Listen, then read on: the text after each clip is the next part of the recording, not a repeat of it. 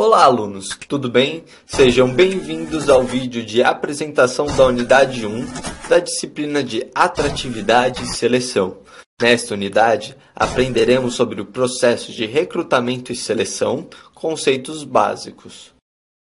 Analisaremos os fatores que antecedem o planejamento de recrutamento e seleção. Reconheceremos o subsistema de provisão. Compreenderemos a estrutura da empresa, sua missão, sua visão e seus valores. Diferenciaremos os mercados de trabalho e de recursos humanos. Entenderemos o papel da cultura organizacional e sua complexidade. Discutiremos os conceitos de recrutamento e seleção de pessoal, os tipos e as etapas do processo. Observaremos a importância do planejamento estratégico de recursos humanos. Diagnosticaremos as causas e os índices de rotatividade e absenteísmo nas organizações. Entenderemos como se define o perfil de cargos por competências. Conheceremos as fontes de recrutamento e a importância de cada uma delas. Estude sempre, mas não se preocupe caso ainda não domine todos os aspectos. O importante é continuar